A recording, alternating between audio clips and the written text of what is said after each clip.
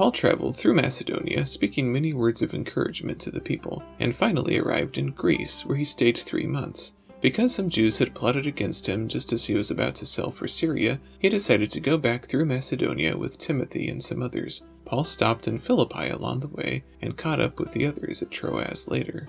Paul stayed with the believers for a week at Troas, and the night before he was to leave, he kept talking and talking to the people until midnight. Seated in a window was a young man named Eutychus, who was sinking into a deep sleep as Paul talked on and on. When he was sound asleep, he fell to the ground from the third story and was picked up dead. Paul went down, threw himself on the young man, and put his arms around him, saying, Don't be alarmed, he is alive.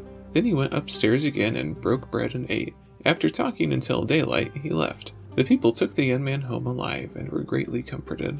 Paul had decided to sail past Ephesus to avoid spending time in the province of Asia, for he was in a hurry to reach Jerusalem, if possible by the day of Pentecost. Paul sends for the Ephesian elders, and when they arrive, he says his goodbyes to them and tells them that the Holy Spirit is leading him to Jerusalem, and that he doesn't know what will happen to him there. He blesses them and warns them to be on their guard against false teachers who will try to take over their group. Everybody wept when Paul told them that they would never see his face again and they walked with him down to the ship, where he boarded and sailed away. They then sailed to Kos, then Rhodes, and then Patara, where they switched ships and sailed all the way south of Cyprus and land in Tyre. The disciples at Tyre urged Paul not to continue on to Jerusalem. They all prayed together on the beach, and then Paul and his companions set sail for Ptolemais, and then on to Caesarea.